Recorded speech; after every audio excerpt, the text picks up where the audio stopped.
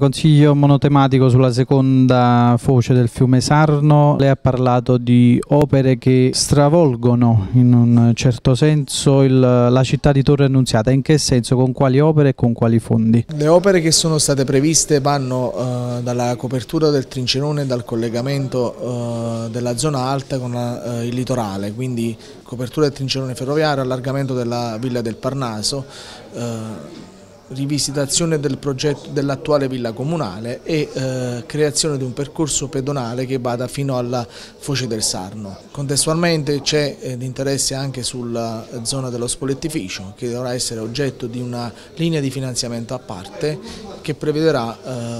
l'apertura, quindi con, attraverso l'abbattimento di quei muri, la creazione di spazi a verde e tutta un'altra serie di opere eh, turistico-ricettive, oltre all'impegno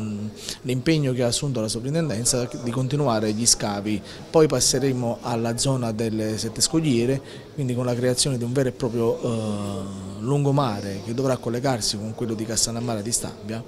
Primo lotto andremo a breve all'approvazione del progetto definitivo, penso eh, entro la settimana prossima in giunta approveremo il progetto che prevede la riqualificazione attraverso il processo di bonifica dell'area denominata Salera e la creazione di eh, un lungomare con pista ciclabile e passeggiata pedonale. È un grande progetto Pompei, abbiamo inserito tutta una serie di opere strategiche che noi riteniamo strategiche per il territorio abbiamo individuato tutta una serie di aree eh, di parcheggio, eh, una serie di infrastrutture necessarie, quindi il collegamento del secondo lotto della Bretella eh, che vada da via eh, Terragneta fino al svincolo dell'autostrada con un leggero tratto in sottopassaggio sotto la, la linea ferroviaria che consentirà quindi a chi esce dall'autostrada in pochi minuti eh, di arrivare direttamente al porto